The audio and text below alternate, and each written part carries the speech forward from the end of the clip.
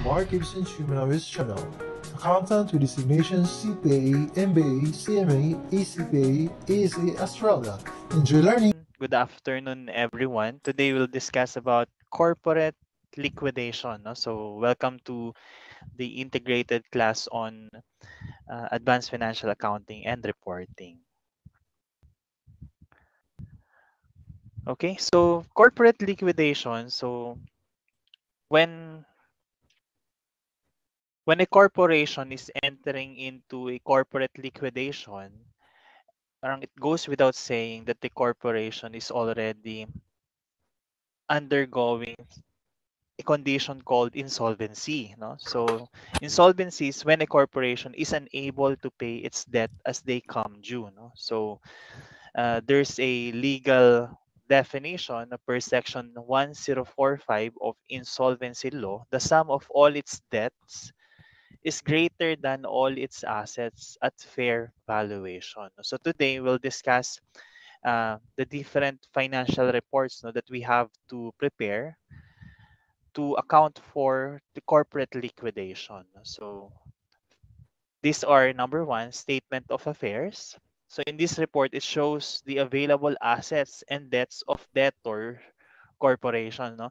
So let's talk about statement of affairs first. No? So uh, when we say statement of affairs, we're simply looking into all our assets and all our liabilities. So, so basically, all our all our assets, we are going to realize it, convert it into cash in order to settle all our creditors. No? That's why we are called here uh, a debtor corporation. Now, in number two, statement of realization and liquidation. So in this report shows how the receiver or trustee manage the assets of the debtor corporation on behalf of the creditors. Kasi nga, uh, remember, uh, the very intention of um, asset realization Basically, it's to convert all non-cash assets into cash in order to settle or pay our obligations to uh, our creditors. No, but later on we'll discuss this uh, in detail. No, um, by uh, by way of looking into different discussion problems that I have prepared for this session. So let's talk about the statement of affairs first. Oops, liabilities are good. Assets. No, so so number one, we have the assets pledged to fully secured creditors. No? So these are assets pledged to a particular liability and have estimated realizable values greater than the amount of liability. No? So para, paano ibig sabihin nito? So ito, may example ako. Example, you have an inventory with estimated realizable value of 150,000 was pledged to secure the accounts payable in the amount of 80,000. So kung napansin mo, the accounts payable or the liability is only 80,000. And the assets pledged to that particular accounts payable is greater than the liability amount. No? So therefore, these are assets pledged to fully secured creditors. No? So number two, assets pledged to partially secured creditors. So parang sa number one, fully secured, and number two, partially. So meaning it's not enough to cover the full amount. No? So example pa rin, yung inventory natin has a value of 60,000 lang. We secured accounts payable amounting to 80,000. So therefore, uh, there's 20,000 left, no? So that 20,000 left will be will be will form part of unsecured uh, liability, no? So in that case, we'll go to number three, free assets. So these are the assets that were not pledged to any particular liability. So included also as free assets are the excess assets from the assets pledged to fully secured creditors. No? So in example number one, ang inventory value natin is 150,000 and the accounts payable that where we pledged that particular uh, inventory uh, amounted to 80,000. So may natirang 70,000. So in that case, yung excess will also form part of your free assets. No? So parang ano lang to class, no? Uh, parang yung yung logic behind, no? Parang mas mas mabilis maintindihan. Um, you have all the non-cash assets in your balance sheet. We are trying to sell it, realize it into cash to settle our existing obligations. No? So that's the very essence of uh, grouping all these assets. No? Now let's go to liabilities. Liabilities number one, we have fully secured liabilities. So imagine, no? So number one, meron tayong assets pledged to a particular liability. So ito na yung pinag-uusapan natin, no? So the estimated realizable value of the asset is greater than or equal to the liability. So yung example natin kanina, meron tayong 150,000 uh, inventory value pledged to accounts payable in the amount of 80,000. So that accounts payable amounting to 80,000 is fully secured liability. No? So number two naman, partially secured liability. So estimated realizable value of the asset is less than the liability. So example natin kanina, ang inventory valuation is just 60,000.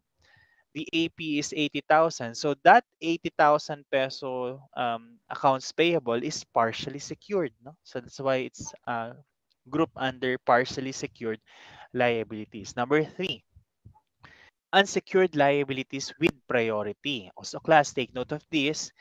Um, unsecured liabilities with priority. This is in this is based on priority. So meaning we have to exhaust first, number one, administrative and liquidation expenses, followed by salaries and followed by taxes. No? So meaning, if we only have limited uh, free cash, no? so we have to settle this based on hierarchy. So unahin muna natin si liquidation expenses, followed by salary. Kung may natitira pa, then taxes. No? So hindi to class ano ha, um, uh, Eh, we don't need to use pro rata, no? So this is in order of priority. Take note of this. No? Number four, unsecured liabilities without priority. So without priority, these are liabilities that have no assets pledged to them. Included also in these unsecured liabilities without priority are the excess liabilities from the partially secured liabilities. No? So in our given example kanina, 60,000 yung uh, estimated realizable value of the inventory pledged to accounts payable amounting to 80,000. Then the excess, that 80,000 will form part, I mean that 20,000 will form part of the unsecured liabilities without priority. Okay? Okay, so ito, para at least later on when we approach uh, the different uh, discussion problems, meron tayong template. No? So free assets, less unsecured liabilities with priority to get your net free assets less the total unsecured liabilities without priority. Ano nga ulit to? These are the unsecured liabilities without priority plus the excess liabilities from partially secured liabilities. No? So to get your estimated deficiency. So estimated deficiency meaning ito na yung mga hindi mo na hindi mo na mababayarang mga uh, liabilities mo, no? Because uh, well, uh, we won't be talking about statement of affairs kasi nga insolvent na yung corporation. So therefore, we can uh, always see a negative balance no in terms of the estimated deficiency. Okay, now this is important as well, no? Net free assets divide by unsecured liabilities without priority to get your estimated recovery percentage. Kasi this is only the extent to which we can pay all our unsecured liabilities because I mean, since we're already in liquidation state, no? Hindi na tayo going concern. So therefore, we can only settle a portion, no? portion of our liabilities. May nag-raise ng hand. Pero nawala din eh. Sino nga yung nag-raise ng hand? Do you have any questions? Hello? Oh, sige, baka nagkaroon lang ng error. Nagka, na-press lang. Sige, tuloy ko yung discussion ha. Okay, so to illustrate our discussion, no, all those concepts, no, that we have discussed on a statement of on statement of affairs, no, so being one of the financial reports that we have to prepare when the corporation undergoes corporate liquidation. Let's go to the different discussion problems, no. So then later on we'll discuss the other financial reports. Alexa, turn on the lights. Okay, so Okay. sige. medyo maliit yung Oy, Mark. Problem no mahaba. Kasi let me go to the the requirements first. Number one what is the estimated deficiency? Number two what is the estimated payment to the bank loan? The number three what is the estimated loss no? so let me read the problem. AAA Corporation is experiencing financial difficulty and considering filing for bankruptcy. The data below are its statement of financial position. So you have your your assets, your liabilities, and equity. Take um, notice class that the stockholders' equity is in negative balance. No, so well technically this is in debit balance. No, so meron ka ng deficit. no? Because the stockholders' equity in- in the accounting equation has a credit, has a credit uh, normal side of credit balance. No, but then it's in uh, debit balance right now. No. Okay, so the following are ascertained. No? So you have the estimated realizable values of the assets. No? So cash, of course, no? So the uh, cash being recorded in your statement of financial position will always have the same uh, realizable value. No, that's uh, that's no question to that. No. And then the accounts receivable, pansinin, 40,000 yung book value, yet the estimated realizable value is only 30,000. You have your uh, notes receivable short term and long term, the land and building, machine, and equipment. Pero pansinin, there is no estimated realizable values for prepaid expenses and intangible assets. Question, how are we going to put a value to those assets with no estimated realizable value? Remember class, we are undergoing a corporate liquidation. So under corporate liquidation, we are no longer in a going concern, no? So um, going concern, di ba, yun yung uh, one of the accounting principles that we have, no? So therefore, uh, if the problem is silent in terms of the estimated realizable value, then it has to be zero, no? So take note of that. Okay, so let me read the uh, items under secured liabilities. So number one, 5,000 pesos of the total accounts payable was secured by 3,500 of the total estimated realizable value of the machine. Ayan ha, ito na yung mga uh, assets pledge to secure to secure accounts uh, accounts payable in this case no pero magkano ba accounts payable natin accounts payable natin is 82,000 sabi diyan 5,000 pesos of which is secured by 3,500 of the total estimated realizable value of the machine. Magkano ba yung estimated realizable value ng machine natin? 6,000.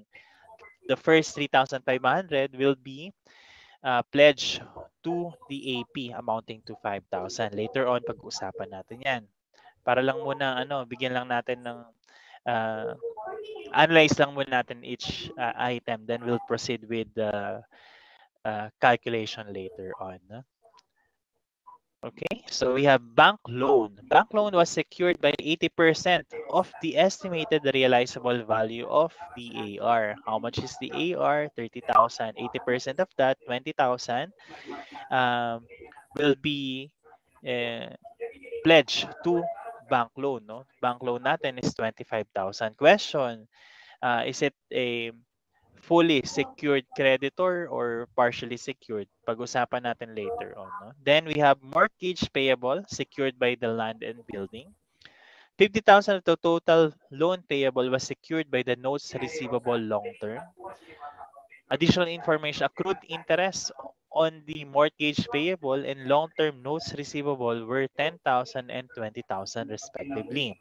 Then finally, we have the estimated liquidation expenses of 15,000 pesos. So let's have problem number one. Pagtsagaan natin to ha at medyo mahaba yung mga problems in terms of uh, corporate liquidation. Pero tsatsagain lang natin, no? So, of course, no? Uh, step one is put all the estimated fair values here, no? So,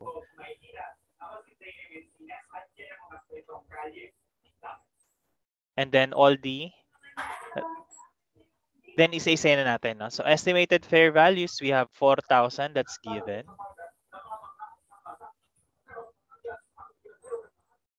Ayun, class, ha? Ito lang muna, nililista ko lang muna tong estimated realizable value. Then we have accounts receivable of 30,000. Later on, papakita natin why did I split it no, between AR1 and AR2. We have notes receivable short term for 27,000. Sabi ko to, i-highlight ko to para pakita ko bakit naka-split. Notes receivable long term of 55,000. Bakit parang mali ako dito? Well, notes receivable long term of 55,000. Okay, sige. 55,000, paano naging 75? That's 55,000 plus, pansinin mo, meron kasing um, long-term notes receivable. The accrued interest on long-term notes receivable amounting to 20,000. So that's why I added it here. No? Instead of um, including another line, inad ko na lang siya. So highlight ko rin yan para at least madaling makita later on. Land and building. How much is the land and building? That's 42,000 plus 60,000. Kaya ako nakuha yung 102,000. Machine, we have 6,000. Again, no, I split it between machine 1 and machine 2. Later on, pag-uusapan natin why uh, do we have to split that? Then we have equipment for 25,000. Okay? And then yung kanina pag-usapan natin, there is no estimated realizable values for prepaid expenses of 1,000 and intangible of 16,000. So therefore, the estimated fair value or realizable value would be zero. Ayan ha, nagkakaintindihan tayo dyan, class. Alexa, Okay, so after that, how are you? pag-usapan ngayon natin itong mga bullet points. No? So Terrific. number one, Thank you. 5,000 Have a wonderful pesos of the total accounts payable was secured by the 3,500 total estimated realizable value of the machine. O, yun pala. That's why I split it. I split the machine's realizable value into machine 1 and machine 2 kasi si machine 1, the first 3,500 is used to secure AP amounting to 5,000 pesos. No? So, ah, kaya nilagay ko dito under the liability yung AP natin na 5,000. No? Sige, lagay ko naman dito. yan. Ay. Ito. Tapos nilagyan ko ng note dito. This is for accounts payable. Alright? Okay, isa-isa lang muna natin to. Number two, bullet number two, bank loan was secured by 80% of the estimated realizable value of the accounts payable. So puntahan natin yung accounts accounts receivable. Accounts receivable, ayun. Kaya pala natin siya ni-split.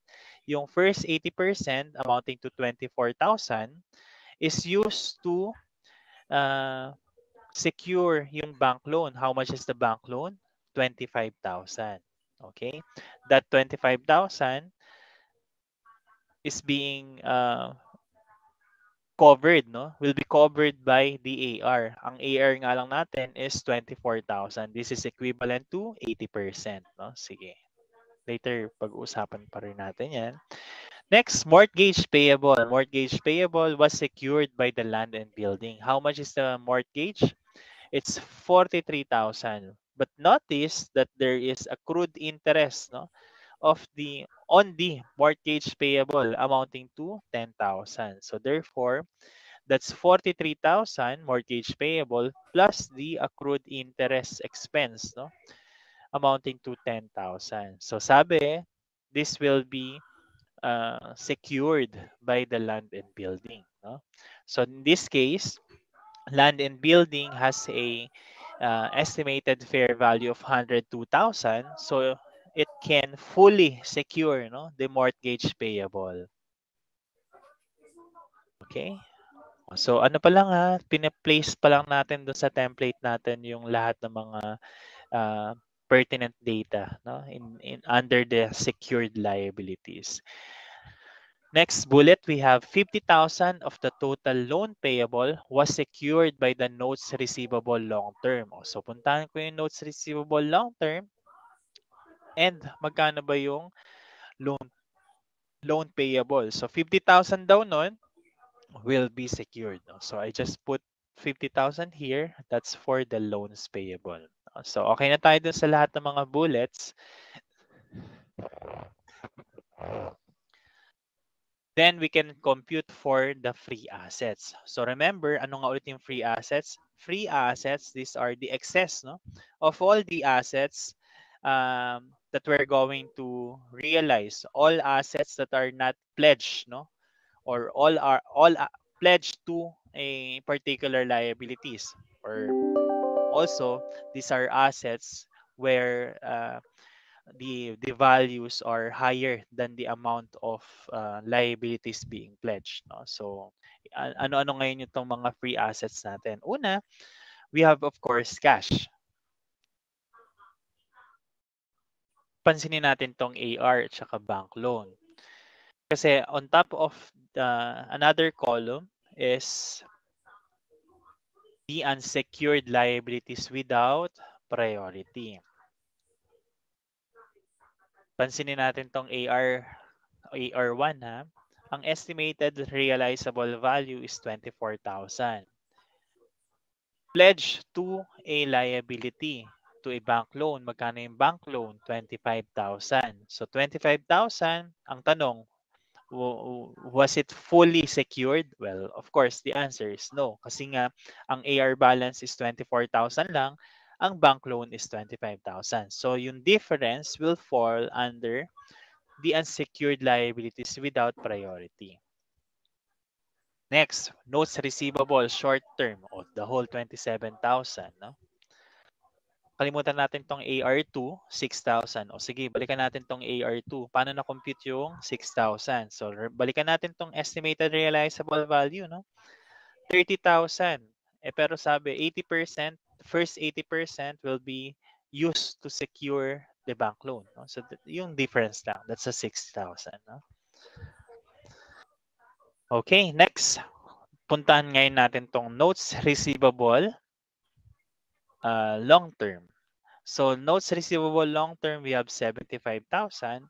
It's used to secure loans payable up to 50,000. No? So the rest, the excess will uh, fall under your free assets. Land and building, 102,000 pesos. How much is the mortgage? Only 43,000. No? The remaining balance will fall under free assets. No? So that's 102,000 minus 53, 53,000. So that's 49,000. All right.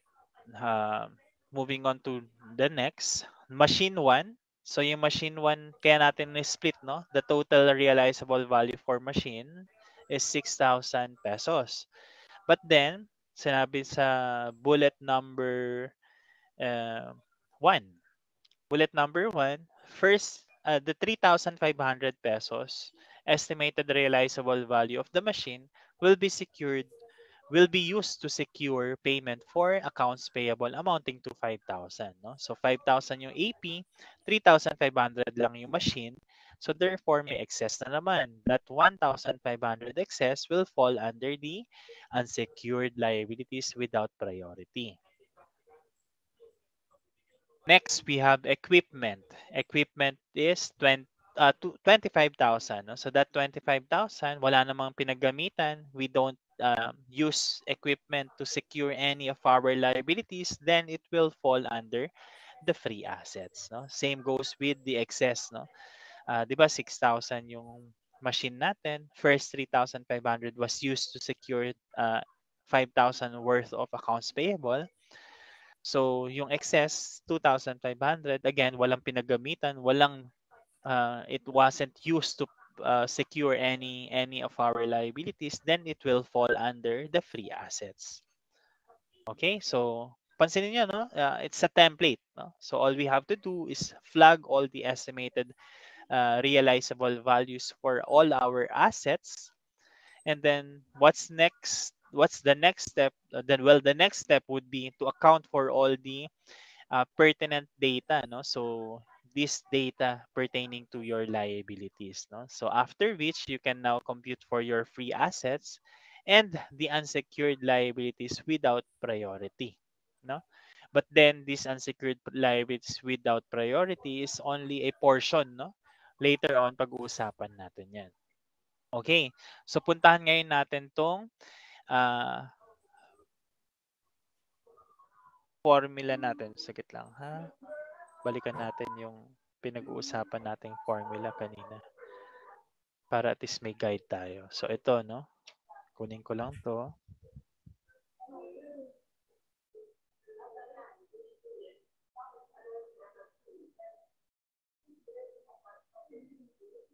Tapos lagay ko dun sa ito, para side by side meron tayong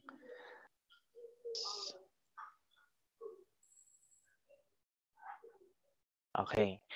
O, so pansinin natin to. Free assets, ayan, nakalagay sa template natin, sa pinaka-formula natin. And then unsecured liabilities with priority. Eh, ano nga yung unsecured liabilities with priority natin? Na-discuss natin yan kanina. Uh, ang composition yan, tatlo. O, ito na ha.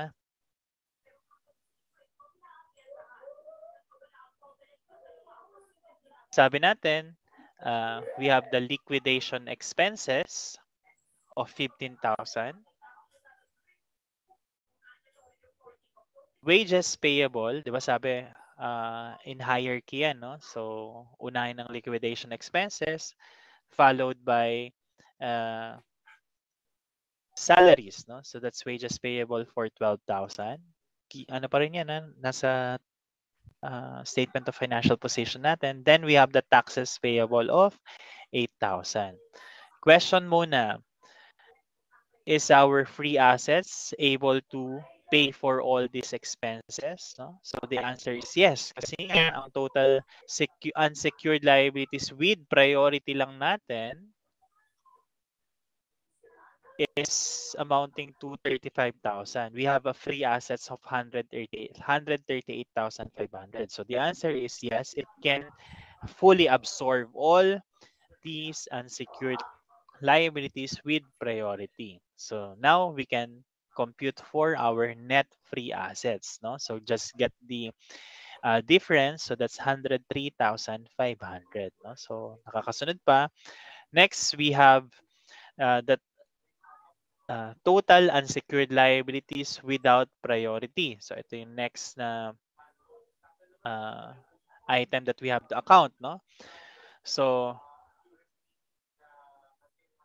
para this mas mabilis intindihan. So ano-anong mga part nito? Una, remaining accounts payable, no? So punta natin yung accounts payable, we have 82,000. But remember, oh, balikan natin kaya this is important, you know uh, it's very important to have a your calculation in good form no? Kasi uh, what we're going to do next is we just have to plot it no? So balik punta natin accounts payable. Accounts payable natin in total 82,000 5,000 was secured by the machinery no? Machine 1 So magkano pa yung naiwan? So meron tayong 77,000. Yung 77 77,000 yan, there's no mention whether other assets will uh, will cover for that. So it will fall under unsecured creditors or liabilities. Lagay ko na lang para consistent. Unsecured liabilities.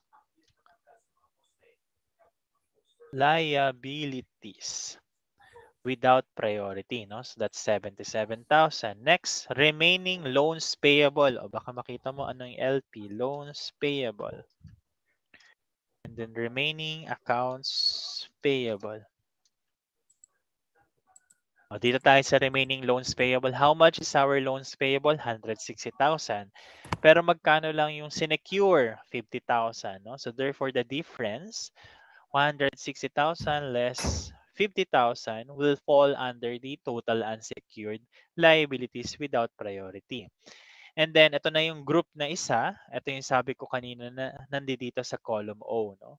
This, um, these are liabilities uh, to which assets pledged no are not sufficient no to cover the entire liability amount no so in this case we have 2500 no so kunin lang natin yung total that's 189,500 now uh, we can now calculate our estimated deficiency so the estimated deficiency is 86,500 86,000 pesos no o sige, bago siguro natin puntahan itong next step, eh, let's check muna ano pa ba yung ibang alternative way to calculate your um, estimated deficiency. Kasi kung napansin mo class, very tedious naman, no? So parang ang haba naman ng steps to calculate. Uh, well, actually, this is just the long method, no? Para lang at least mas ma-appreciate mo how uh, how the process goes, no?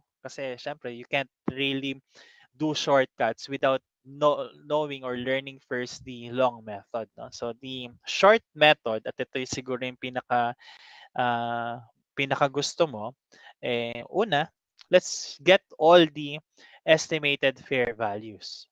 So paano yun? So, kunin mo lang to lahat, yung sum nito. So 4,000 plus 30,000 plus 27,000 plus 55,000 plus 42,000 uh, plus 60,000 plus 6,000 plus 25,000 but don't uh, don't forget no there's the interest receivable no interest receivable from uh, notes receivable long term amounting to 20,000 pesos ko kaya nilagay ko diyan interest receivable no so just get the sum So that's 269,500. So ito yan. Ha? Next, i-deduct lang natin lahat ng recorded liabilities. Ano-ano yung mga recorded liabilities na yan? So we have 82,000, 25,000, 160,000, 12,000, 8,000, and 43,000. So lahat lang ng mga recorded liabilities. No? So that's amounting to 330,000. Less unrecorded liabilities. Ano tong unrecorded liabilities natin? So we have 10,000 accrued interest expense on the mortgage payable. Ayun. Plus, of course, the estimated liquidation expenses of 15,000. Lagay ko dito para at least hindi makalimutan kung saan galing yan. This is the interest expense on mortgage payable oh, payable plus the liquidation expenses. Kasi the rest naman are, I think, uh, easy to calculate. No? Kasi like for example, recorded liabilities. So pag sinaming recorded liabilities, eh, lahat lang naman ng nasa balance sheet natin. No? Okay, so we have now the total assets. Lagay ko dito ha, total assets. Less the recorded liabilities of 330,000. Less 25,000 for the unrecorded liabilities. Pansinin nyo, the estimated deficiency is 86,000. It's the same, no? Dun sa haba-haba ng ginawa natin, eh, na-calculate natin uh, is the same amount. No? So again, no, we I have introduced to you the long method just to understand the full concept of the uh, statement of affairs, no? But then there's the, the, the shortcut method naman. Okay. O sige, let's proceed with the the rest, no? Uh, of course, we can now answer uh, question number one. Question number one lang naman is what is the estimated deficiency? Well, the answer is letter C, 86,000. Puntahan natin yung number 2. What is the estimated payment to the bank loan? puntahan natin magkano ba yung bank loan. Yung bank loan natin, we have 25,000. Remember, uh, that 25,000 was secured secured by AR, no? Yung 80%, no? Pero up to how much lang? Up to 24,000 lang, no? So that 24,000 representing the AR pledge, no? So ito 'yan. And then pansinin mo, merong natira, no? Na 1,000 pesos. 24,000 was fully secured, was secured by the AR. May natirang 1,000. Of that 1,000, kaya very important itong estimated reco recovery percentage, no? This will now be used to calculate how much of this 1,000 pesos will still be paid. No? Magkano pa ba yung kayang bayaran ni corporation. Classy class, no? Uh, since we are corporate liquidation, we are now paying by order of priority. No? So napansin mo, merong mga prioritization included in our uh, calculation. No? So uh, of the 1,000 remaining bank loan, sabi dyan, 54.62% will be paid. Kaya nga, no, estimated recovery percentage. No? So therefore, 1,000 multiplied by 54.62, only 546 pesos of the 1,000 will be paid. No? So just get the sum. So the estimated payment to the bank will be 24,546. Okay, so letter A. Siguro ganito. Uh, alisin ko na to para hindi makalat. Uh, pag-usapan natin, paano kung ang tinatanong is AP? Sige nga, kayo muna tapos saka natin i-solve together. I-unshare ko muna yung screen ko ha. Para hindi mo makita yung gagawin kong pag-solve na. Uh, sige. Mag-solve ka, magso-solve din ako. Ay, mali pala. Kasi wala kang solution dyan. Sige na, gawin na lang natin all together. Sige. Uh, solve na lang natin parehas. Oh, AP. AP ang tinatanong ha. Uh, magkano daw ang mabab ang uh, payment to accounts payable. So kunin ko muna yung accounts payable na secured, no? So we have accounts payable, dito ko lalagay eh. ang accounts payable natin is uh, 82,000, no? But remember, of that 82,000, 5,000 pesos was secured by uh, the machine, which has 3,500 pesos um, fair value. So parang 3,500, yan na yung uh, payment no for the 5,000. Okay? Ngayon, may naiwan, 'di ba? Na 77,000. The first 77,000 eh ang recovery recovery percentage lang niyan is 54,000 points 54.62%, no? But remember, meron pa rin excess dun sa 5,000 minus 3,500, no? Ito siya, yung sa 1,500 na unsecured liabilities, no? So, yung amount niyan will also be multiplied to the recovery percentage, no? So, to answer the question, how much would be the settlement? Uh, settlement for the accounts payable. So the answer is 46,374. So ito class, wala naman yan dun sa question. No? So tinas lang natin no, how much would be uh, the amount to be paid to accounts payable. Okay, sige. Puntahan na ngayon natin yung number 3. Sa number 3, ang tinatanong is, what is the estimated loss? So ito medyo tricky. Pero pag-usapan natin, uh, by way also of a template. No? So we have the estimated fair values here.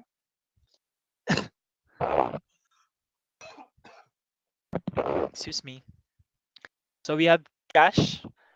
Uh, basically, in here class, uh, we but what we need to do is we just calculate all the gains and losses no so as if we are selling all our assets no are we uh, going to book a gain or loss parang ganun lang no So of course, we have to get all the estimated fair values. No? So we have uh, 4,000, 30,000, 27,000, 55,000, 42, 60, 6, and 25. No? So pansin mo, lahat lang naman yan, yan yung given. Next, of course, we will get the book value. So book value of 4,000, 40,000 for the AR. We have 36,000 for uh, the notes receivable short term, 50,000 for the notes receivable long term. Uh, we have land of 10,000, uh, building of 70,000, machine. Alisin ko lang itong machine kasi in total natin titignan. So machine, um, 20,000 and then equipment of 45,000 prepaid expenses 1,000 and then intangible of 16,000 oh, so ganito kunin lang natin yung uh, gains or loss no so 4,000 less 4,000 0 30,000 ang fair value ang book value is 40,000. So as if meron kang ano diyan. Uh, meron kang loss of 10,000. No? So gawin mo lang sa lahat 'yon, makukuha mo to in total 43,000. Ito yung tricky part, no? Kung nag-stop ka doon, you'll choose letter A kasi lumabas na 43,000 na excite ka, no? But then class, ang tinatanong dito is estimated loss, no? Uh, so all we have to do is get the sum of the all the negative no representing loss no so kunin lang lahat natin yung mga negative so that's 80,000 so the answer is letter B 80,000 pesos no so yun na paki take note of that kasi ang bilis magkamali dito sa gantong type of question so that's problem problem number one on statement of affairs. No? So, kung napansin nyo, very uh, long uh, problem, comprehensive problem no, on statement of affairs. Okay, so puntahan natin yung next. So we have uh, problem number two. So problem number two, What is the amount received by the holder of the accounts payable? What is the amount paid for the taxes? And the number three, what is the estimated deficiency? So another another problem on statement of affairs just to ensure that we have a solid understanding of the concept. No, BBB Corporation is experiencing financial difficulty and considering filing for bankruptcy the following data are given. So you have your assets, the book value and estimated realizable values are given. Your liabilities and stockholders equity. Ngayon, isa-isay natin tong bullet points under the additional information. Accounts payable was secured by the accounts receivable. How much is the accounts receivable? 55,000. How much is the Accounts payable, 60,000. So yan, meron na namang difference. Pag-usapan natin later on. Next, we have mortgage payable was secured by the building. How much is the building? 280,000 compared to the mortgage payable of 200,000. So next, liquidation expenses were estimated in the amount of 15,000. So let's have problem number two. okay, so problem number two, same procedure, medyo meron lang nagkaroon ng difference in terms of uh, Of course, no? Hindi naman natin bibigay itong problem number 2 kung walang tricky part, no? So let's have problem uh, number 2. Uh, para kita lahat. All right. So we have the estimated fair value. Kunin ko lang to para at least uniform yung template natin. So we have cash 50,000, AR 55,000, building of 280,000. Ngayon, ito na yung pag-uusapan natin ng mga bullet points. No? uh, accounts payable was secured by the accounts receivable. Magkano yung accounts payable? 60,000. Sinecure daw ng AR. No? So, plot lang muna natin and then the accounts payable. No? Next, mortgage payable was secured by the building. That's mortgage payable is 200,000. Okay? And yun lang, no? Wala nang ibang uh, uh, data in terms of uh, liabilities being secured. Excuse me. Uh, then we have free, uh, we're now ready to compute for our free assets. No? Cash, okay, that's 50,000. Itong 55,000 less 60,000. So 60,000 accounts payable natin pero ang AR natin only uh, is only 55,000. So yung difference sa 5,000 will fall under the unsecured liabilities without priority. Okay, so that's 5,000 pesos. Next, of course, uh, sa building, meron tayong 280,000 na fair value. Then, compared to the mortgage payable of two, only 200,000, so the excess of 80,000 will fall under your free assets. No? So, free assets is 130,000. O, so punta na natin ulit ngayon to, ha? Ang free assets natin, 130,000. Na-compute na natin yan. Ngayon, sabi dyan, unsecured liabilities with priority. Sabi ko kanina, ang unsecured liabilities with priority should be uh, in order of priority. No? So kung in order of priority yan, tignan natin isa-isa. No? So kung kaya bang siyang i- um, secure fully by the remaining free assets.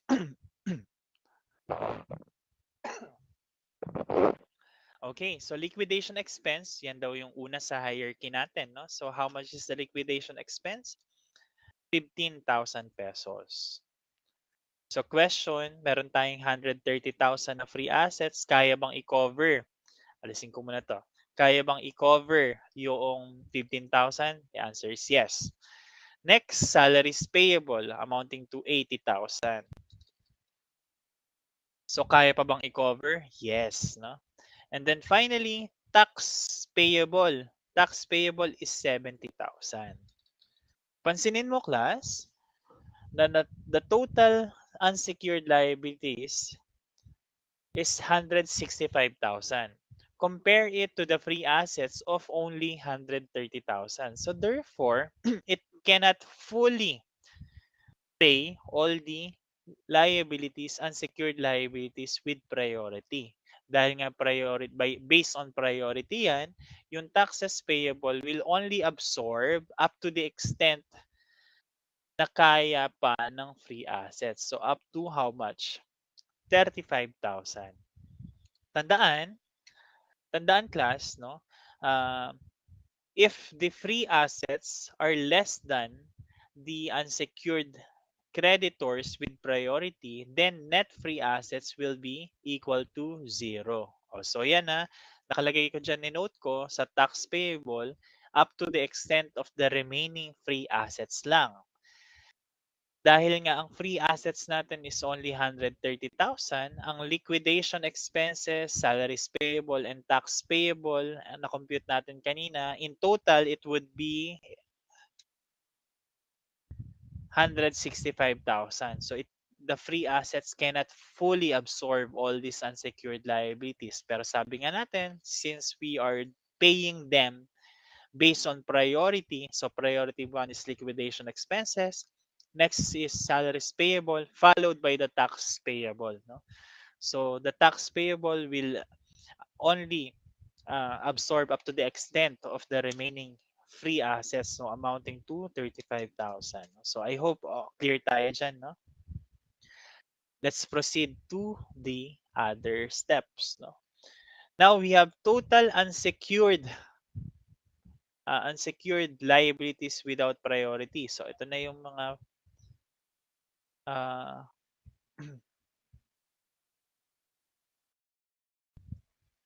So we have remaining accounts payable, kumpletuhin ko lang.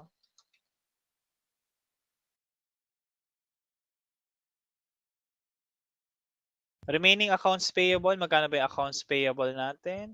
Uh, 60,000. 60,000 Ah, ah, kasi tinodal ko pala siya. Sige. Remaining accounts payable of 5,000. So, ayun siya. Then, remaining notes payable uh, of 35,000. Kasi wala namang wala namang na-mention about notes payable, no? Meron pa bang ibang uh, liabilities? So, accounts payable, okay na, na-account na natin in full. uh, salaries payable, na-account na rin natin. Tax payable, okay na rin. Notes payable, ayan, 35,000. Mortgage payable, na-account na rin natin. Okay, so the total unsecured creditors without priority would be 35,000. No? So, meron tayo ngayong, ay sorry, uh, in total it's 40,000. No?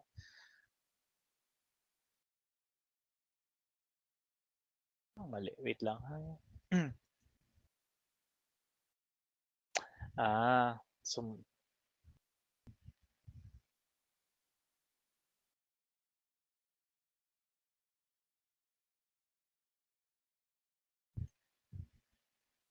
Saan to? Ah, okay. Sige, sige. Sige. Ito yung Ayan.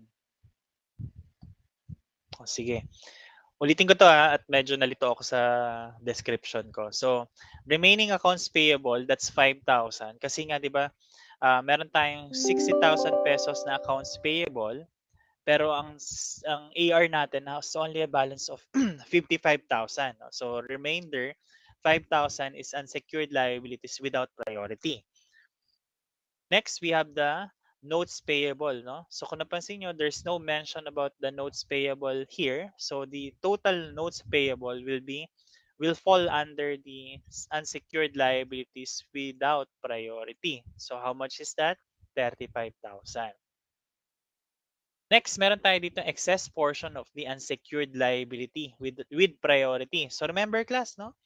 Yung tax payable natin, 70,000. Pero magkano lang yung nabayaran? Magkano lang yung na-absorb ng free assets? 35,000. So therefore, yung remaining 35,000, di ba? 70,000 less 35,000 will fall under the unsecured creditors without priority. So that's the 35,000. So kaya meron ako dyan formula kinuha ko yung total, tapos less yung uh, total unsecured liabilities with priority. Or simply, 70,000 tax payable, less 35,000 na na-absorb ng free assets. The remainder na 35,000 will fall under the total unsecured creditors without priority. No? So, lagay ko siya dito para at least hindi nakakalito. Uh, 35,000. Ito siguro. So that's 75 70,000 minus 35,000. Lagay ko dito, this is the tax payable less 35,000 absorbed by the the assets. Excuse me. Okay. Oh, so isa pa next step, no? Sabi natin, if the net free assets is zero, and of course, the estimated recovery percentage will be zero. Kasi nga naman, and there's no way no we can calculate the estimated recovery no? So nilagay ko lang din diyan since there is no net free assets therefore there is also no net estimated recovery percentage no? So with that natapos natin yung buong process. We are now ready to calculate the uh, i mean we are now ready to answer the requirements no? So number one what is the amount received by the holder of the accounts payable So the answer is 55,000 up to the extent lang nung AR balance. O sir, uh, baka ang question mo, eh how about the 5,000? So remember class, the 5,000 will fall under unsecured liabilities. But then, there is no net free assets. No? So therefore, the estimated recovery percentage will be zero. Okay, so that 5,000 will not be paid anymore. No? So the accounts payable will be paid up to the extent of the asset pledge. No? So in this case, AR uh, of 55,000. So the answer is letter B. Next, what is the amount paid for the taxes? So yun, only 35,000. So answer is letter A. And then number three, how much is the estimated deficiency? Estimated deficiency is 75,000 pesos, uh, consisting of the remaining accounts payable 5,000, notes payable of 35,000 plus yung uh, 35,000 from the tax payable. Lagay ko dito ha para hindi nakakalito. Remaining tax payable para lang consistent tayo dun sa description. Okay, so the answer to number three is letter C, 75,000. Okay. So that's the statement of affairs, second part of uh, corporate liquidation. No? So sabi natin kanina, there are two financial reports no under corporate liquidation. Statement of affairs, yun yung katatapos lang natin. Then we have statement of realization and liquidation. No? So Okay. So under the statement of realization and liquidation, uh, we have assets to be realized. No? Ano to mga assets to be realized? These are non-cash assets to be collected or sold for the given period. Book value of all recorded non-cash assets. No? Ayan, para at least uh, later on, alam na natin yung mga kailangan natin identify or classify as assets to be realized. then we have increase in assets. So part also of total debits. So uh, there's the unrecorded non-cash assets. Oh, so uh, example is accrued interest receivable. Then total credits, ito naman yung assets realized. So when we say assets, assets realized, these are non-cash assets collected or sold for the given period. And then finally, we have assets not realized. Pag sinabi nating assets not realized, these are non-cash assets not collected or sold for the given period. So paano yan? Remember, no, uh, we are under corporate liquidation. So we are, the intention is to sell all the non-cash assets and convert it into cash, no? So for the intention of paying all our creditors. So for example, meron kang inventory. Yung inventory na yun will fall fall under assets to be realized. Part of the inventory uh, was sold. So that particular portion of the inventory sold will fall under assets realized. So para lang at least mas maintindihan pa, meron kang 50,000 inventory beginning. That 50,000 will fall under assets to be realized. During the period, 20,000 pesos of that inventory was sold. So that 20,000 will fall under assets realized, no? And then the remainder of 30,000 will fall under assets not realized. So kung parehas ko kayong visual, eh, yung mga kwento ko na ganito, eh, it won't make sense until makita ko yung discussion problem later on, no? So, uh, okay lang, no? Kung hindi, hindi masyado maintindihan right now, but later on, when we discuss it and apply all these concepts in, in the problem, it will, it will all make sense, no? pag-usapan ngayon natin tong liabilities portion. No? Liabilities to be liquidated, book value of all uh, recorded liabilities to be paid in the given period. Increase in liabilities also part of the credit. No? So unrecorded liabilities and liabilities assumed. Example, accrued interest payable. Total debits, so yan naman yung liabilities liquidated. So meaning liabilities paid during the period. Liabilities not liquidated, so these are not yet paid at the end of the period. And then also another way to compute for this is liabilities to be liquidated plus increase in liabilities less liabilities liquidated is equals to liabilities not liquidated. No? So, uh, siguro madali, madali lang na example dito sa accounts payable. No? Of course, uh, beginning of the period, uh, papasok siya sa liabilities to be liquidated. Pag binayaran, pupunta doon sa liabilities liquidated. The remainder will fall under li- liabilities not liquidated. Kaya nga, uh, it's very important to uh, be specific, no? Sabi diyan at the end of the period at the end of given period no so for example kasi we're looking at uh, we're looking at ano bang date na Feb so anything uh, any liabilities not yet paid by end of Feb will fall under liabilities not liquidated kasi nga these are liabilities not yet paid at the end of Feb no at the end of a, of the given period okay then finally, we have supplementary debits or charges, which include uh, all the expenses and losses. and then supplementary credits. So ito naman yung income, profits, sales, and gains. No? So sabi natin, when we total all the debits and total all the credits, if the debit is greater or is less than one is less than all the credits, so we have a gain. Gain is booked on your uh, debit side no? So be careful with that no? And then if all the debits is greater than the credits so in this case 100 daw ang total debits natin and then total credits is 90 then we have a loss loss is booked under the credit side no so again we will apply this to uh, a discussion problem. No? So, ito na yung problem natin. Excuse me. So, uh, let me read the requirements first. Number one, what is the profit or loss in the statement of realization and liquidation? Number two, what is the estate equity at November 30, 2022?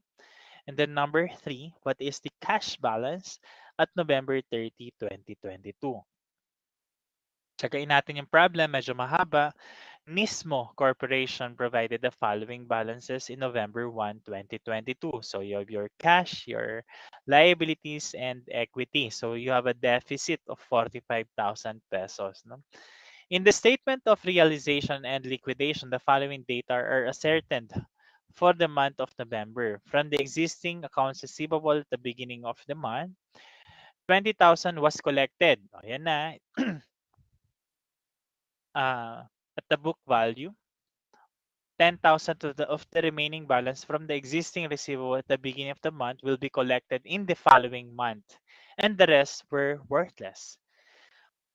Bullet number two, 75% of the inventories were sold for 65,000 cash. 56,800 of the notes receivable were collected and the rest were worthless. Accrued interest on the notes receivable was also collected during the month. Equipment was sold for 195,000. Administrative expenses of 11,200 were paid. Additional credit sales amounting to 14,000 were made for the remaining inventories. Interest accrued for the month were notes were note receivable 2,800, notes payable 6,500, and mortgage payable 21,000. The mortgage payable, including the interest, wages payable, and taxes payable, were paid. The remaining non-cash assets are to be realized the following month and the remaining liabilities are to be paid the following month. Oh, so ito, tsagain natin. Medyo mahaba yung problem. but um, I'll, I'll make sure na maintindihan natin to, no? So, let's have problem number three. So, in problem number three, very colorful, no? Para at least mas maintindihan saan nanggagaling yung figures, no? Isa-isayin lang muna natin, no? By way of journal entry bago natin puntahan yung taas. No? Kasi naman yung sa taas, ito naman yung template natin kanina. Di ba sabi natin, assets to be realized, assets realized, increase in asset, assets not realized. And then sa liabilities, meron tayong liabilities liquidated. Of course, no, the liabilities liquidated, it's on the debit side. Kasi nga, normal side ng liabilities natin is credit. Kailangan ko mong sabihin yan. No? Then we have liabilities not liquidated, increase in liabilities. No? Supplementary debits or charges, and then supplementary credits. Isa-isay natin yan. The best way to do this is by way of uh, journal entries. No? So number one, from the existing accounts receivable at the beginning of the month, 20,000 was collected at the book value. 10,000 pesos of the remaining balance from the existing uh, receivable at the beginning of the month will be collected in the month in the following month and the rest were worthless. So journal entry, nakakollect daw tayo so debit cash 20,000 and credit accounts receivable 20,000. O, so akit tayo sa taas ha, i-post na natin siya sa T account natin agad. Magkano ba yung mga assets to be realized? Assets to be realized, we have 35,000 for AR, inventory of 60,000, notes receivable of 78,000, and then equipment of 256,000. Oh, so ito yung pinag-usapan natin class lahat kanina. Sabi natin assets to be realized. These are all the non-cash assets in your balance sheet. No? So, non-cash assets, inalis natin yung cash kasi nga yung cash, eh, it's already in, in, in the form of cash. No? So, the reason why we're including all the assets here to be realized, kasi nga, the intention is to sell all these assets, to convert all these assets into cash in order to settle all our obligations. No? Uh, so, in this case, that's 35,000 AR, inventory 60,000, notes receivable 78,000, and equipment 256,000. This is the first step, no? Next, puntahan natin yung uh, journal entry number one. Sabi doon, assets uh, AR collected, no? So of course, dahil nakakolekta ka, that's assets realized, meaning assets sold, no? as if uh, asset we have converted into cash. No? Magkano daw? 20,000. Pero pansinin mo, sabi dyan, 10,000 of the remaining balance from the existing receivable will be collected in the following month. So therefore, that 10,000 will be will fall fall under assets not realized this period. Kasi nga, the following period pa raw siya uh, makokolekta. No? So, pansinin mo yung ano, yung uh, relationship no nung bawat factors no so we have AR beginning that's 35,000 under assets to be realized nakakolekta so therefore assets realized no? now merong remaining na hindi na realized meaning hindi na collect this period will be collected the following period so will fall under assets not realized. No? So that's AR. Kung pansin mo, naka-green siya as well as the entry para at least mas mabilis mo siyang makita later on. No? So another way siguro para mas maintindihan dyan, lagyan ko lang yung number. No? So that's 1, 1, and this is 1.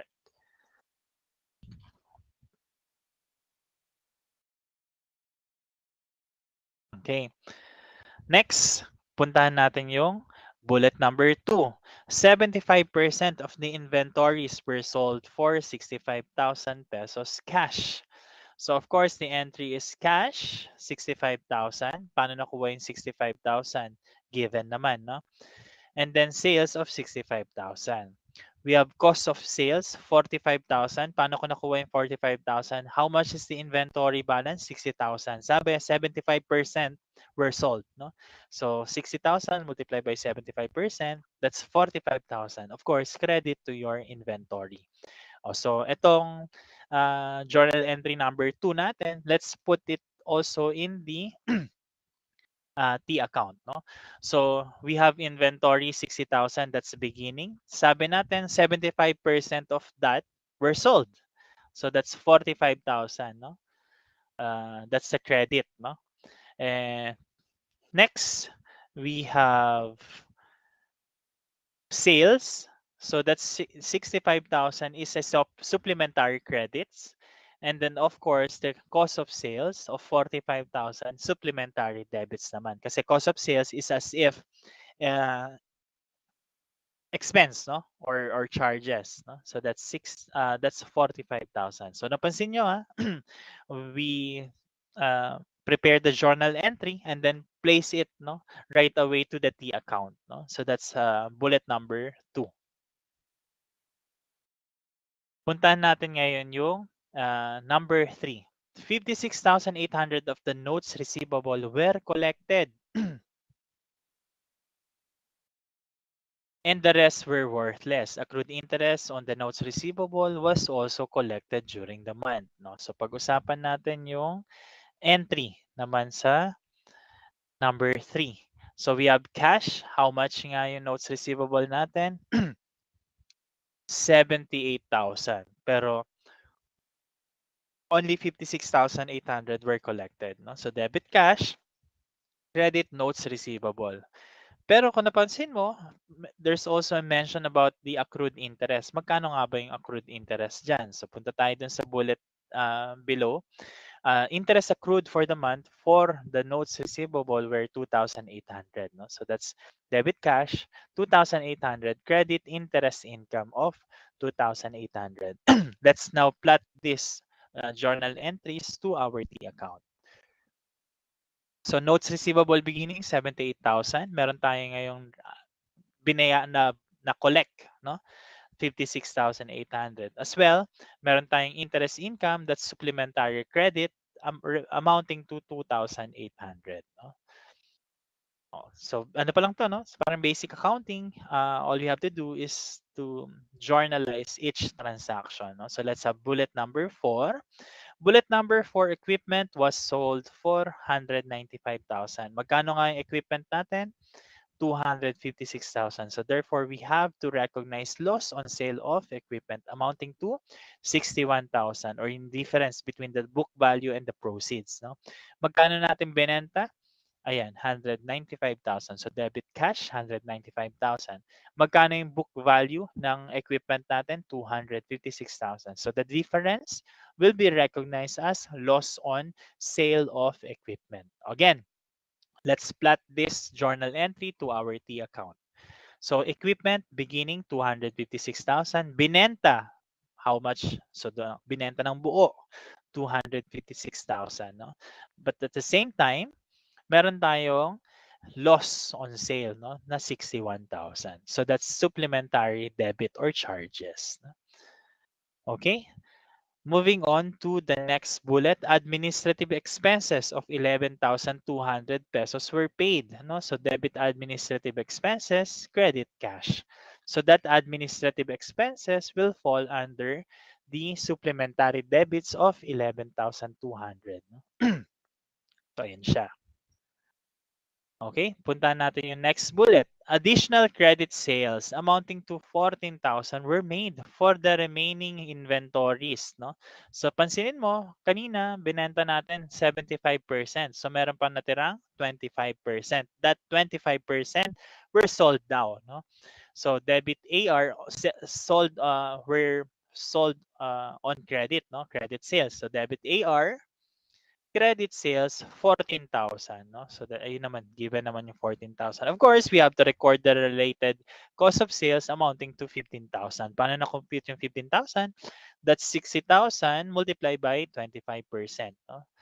And then credit to inventory no? so ito plot ulit natin siya dun sa T account natin. So T account natin we have inventory of 15,000 ito yung remainder no? Uh, or 25% And then of course, uh, we have to record yung sales of 14,000. That's supplementary credits. And then the cost of sales of 15,000. Okay, so next, number seven. Uh, the interest interest for the notes payable of 6,500 and mortgage payable of 21,000 pesos. Kasi itong 2,800 na account na natin yan dun sa uh, dito no sa notes receivable. So we go now to the 6,500 and 21,000. So kunin lang natin yung total. Um, that's 27,500. No? Puntahan ngayon natin tong interest expense. No? So that's 27,500. Uh, that's 6,500 plus 21,000, no? So debit interest expense, credit interest payable, no? So plot ulit natin dun sa T account natin. So we have increase in interest payable, no? That's 27,500 and then yung interest expense will be a supplementary debit, no? So that's 27,500. Next, pansinin natin, sabi dyan, the remaining non-cash assets are to be realized the following month and the remaining liabilities are to be paid the following month, no? So, para ma-compute natin yan, ay sorry, bago muna pala yan, ito muna ako dito. Mortgage payable including the interest, wages payable, and tax payable were paid. So we have mortgage payable. Mortgage payable. 175,000. So ayun. Interest payable mortgage, see bullet number 7. So that's uh, 21,000. Ito siya, yung 21,000. And then wages payable, kompletuhin ko siya para at least pag binalikan natin, mas mabilis intindihin. Wages payable of 25,000. And then taxes payable. Tax payable.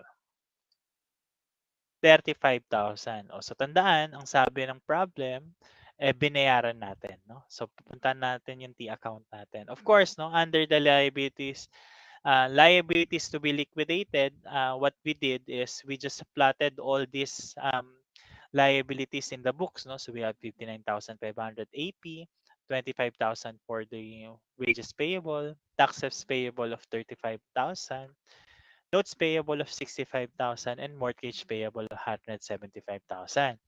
Pero pagdating dito sa last bullet, number 8, lagay ko lang siya number 8. Uh, sabi dyan, eh, binayaran daw lahat ng mortgage, 175. Taxes payable of uh, 35 and then wages payable of 25,000 as well as the interest payable on the mortgage no amounting to 21,000 ito siya. So now uh, okay na tayo dun sa last bullet no? And then uh, yung last bullet naman there is no required journal entry. Sinasabi lang sa atin na yung remaining non-cash assets to be realized the following month, and the remaining liabilities are to be paid no uh, the following period no? So meron tayong assets um, assets not realized here. Pero 'di ba na-compute naman na natin to na-account na natin lahat. And then for in terms of the liabilities ano lang yung uh, assets uh, liabilities not liquidated? Of course meron ka diyang AP kasi uh, pansinin mo lahat ng ay wala naman tayong binayaran sa AP. Of course, on the notes payable, wala, wala rin tayong binayaran. Now, in terms of the interest payable, yung 27,500, binayaran natin yung 21,500. So, itong interest payable na interest payable um, that that's uh, under the liabilities not liquidated, actually this is for the notes payable, no?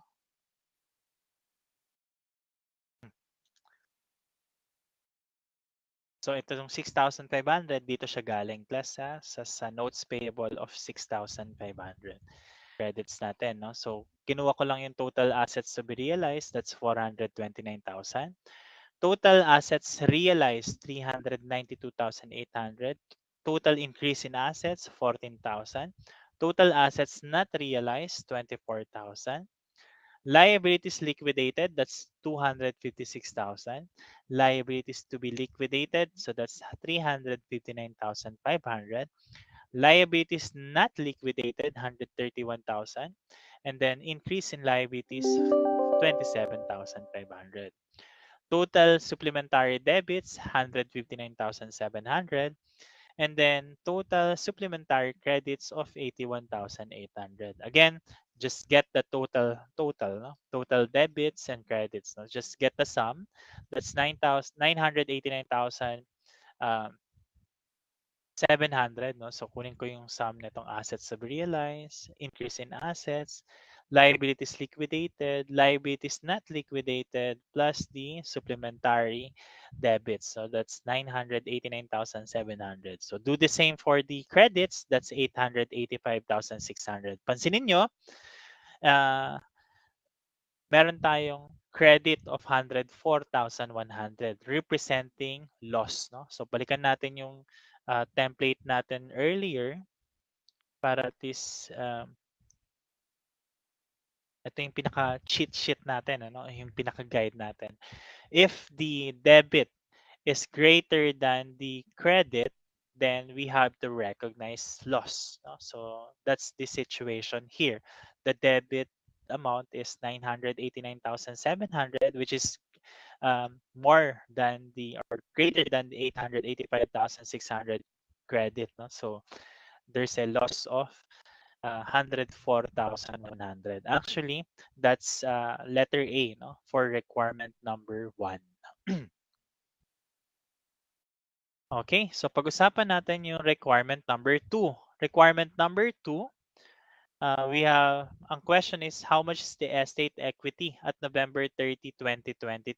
Estate equity beginning is 75,000 Paano natin na-compute yan? That's 140,000 minus 45,000 deficit. So, lagay ko na nandito. We have share capital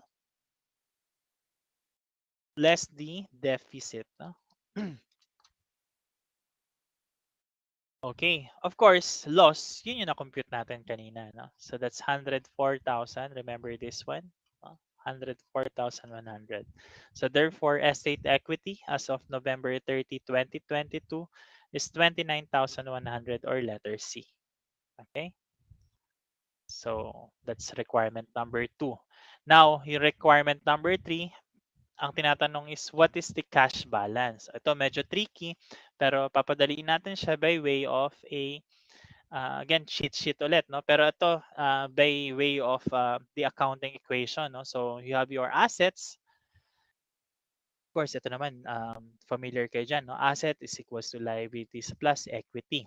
Pero lagyan lang natin yung ending balance kasi nga ending balance yung hinahanap dito. So, equity end, mm, na-compute natin. So, that's 29,100. No? So, that's the estate equity. So, kung meron kang equity ending balance of 29,100 and liabilities ending representing, ano kaya dito yung liabilities end class? uh, of these four. Ano kaya dito yung liabilities ending? Of course, that's the liabilities not liquidated. No? So meaning these are the remaining liabilities this period which will be paid next period. No? So that's 131,000 pesos. No? Now, kung meron ka ng liabilities ending, meron ka ng equity ending, so therefore that 101,900 represents the total assets is syempre, 'di ba, ang total assets mo includes uh, total assets mo include cash and non-cash asset, no?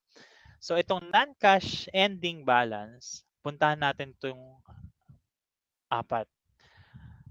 Which of these four do you think uh, represent the ending balance of your non-cash asset? Of course, that's the assets not realized. No? So in this case, this is the 24,000 pesos. Kung meron kang 24,000 at uh, ang total as total assets mo is 101,900, so pwede ka na mag-work back. So the total cash ending balance would be 77,900 or 101,900 minus 24,000. So that would be 77,900. No? So that's letter B. O so class ha, ang kailangan lang tandaan dito, very tricky kasi uh, you just have to be familiar with the accounting equation. But at this stage, no, you're already in the uh, integ integrated class. So the assumption is you already have a solid understanding of the accounting equation. So ito is uh, just a mere uh, uh, siguro uh, practice na lang no of what you what you already uh, know no. So siguro ang, ang ang isa pang tricky dito is to identify ano ba yung mga uh, so of the four, no? So like ito, liabilities ending, no? So you, given our four groups here, no, of liabilities, ano dyan yung uh, representing ending balance of your liabilities, no? Of course, yung liabilities not liquidated. For the assets naman, ano dyan yung uh, remaining assets uh, to be recorded, no? So of course, yung assets not realized. Kasi nga ang assets not realized, this will be sold, no? Next period ito namang liabilities not liquidated, this will be paid the following period. Okay, so that's problem number three. Actually, that ends our discussion for today. Medyo mahaba, hindi pala medyo. So mahaba talaga yung discussion, but thank you all for uh, listening attentively. And well, thank you for attending my my class and uh, I'll see you again next week. This is the your instructor, Mark Gibson. Thank you for learning with us. See you in our next discussion. Don't forget to like and subscribe. See ya!